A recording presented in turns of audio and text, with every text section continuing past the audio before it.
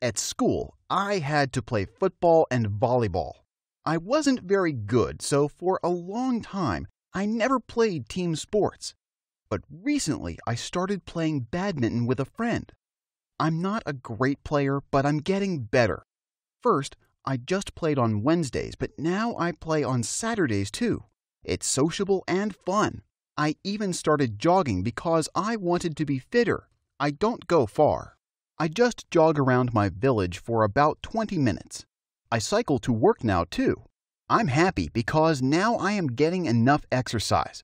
Last year I didn't do any.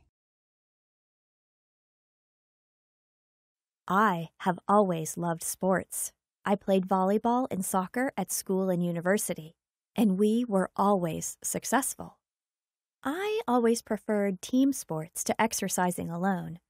I liked learning about other people's skills and choosing the best way to play.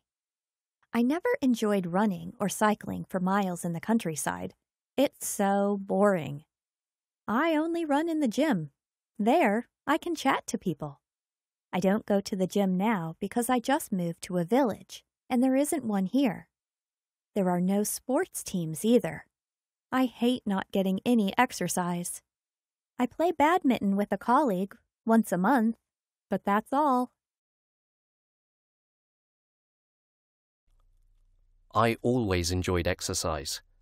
Not team games like football or volleyball, but solo sports like running and cycling. I was a great cyclist when I was younger. I won some big international races, but then I had a really bad car accident, and after that, I couldn't use my legs. For a while, I got really lazy. I didn't do anything. But finally, I joined a wheelchair sports club.